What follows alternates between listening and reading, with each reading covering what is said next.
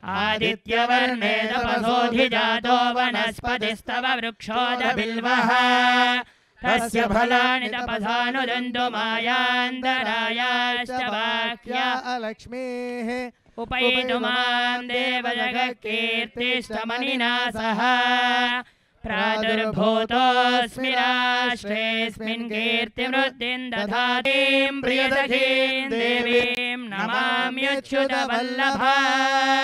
ॐ याः फलिनीर्या अफला पुष्पायाश्च पुष्पिणीः बृहस्पति प्रदोधास्तानो मुञ्जन्वगुंहतः तद्विष्णोः परमं पदगुं सदा पश्यन्ति सूरयः दिवीव चक्षुरादनो तद्विप्रासो विपन्यवो जागृवांससा तामावह जातवेदो लक्ष्मीमनपगामि मन ध्रुवेण ध्रुवे कस्मै।